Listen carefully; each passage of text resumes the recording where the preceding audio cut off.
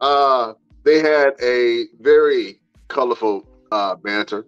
Uh, Logan Paul was pretty much saying that you're jealous of me because I did everything that you wanted to do in a shorter amount of time.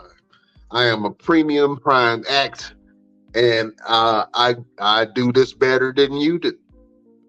That stung a little bit for Seth Rollins.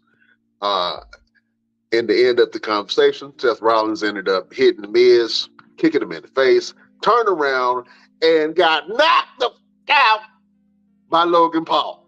Logan Paul hit him with a baseball pitch, clocked him right on the jaw. It was real. It sounded real. He hit him. He hit him square on the chin. uh, knocked him out. Uh, he was asleep for a second. Whenever you hear somebody start snowing, yeah, he was he, he was asleep.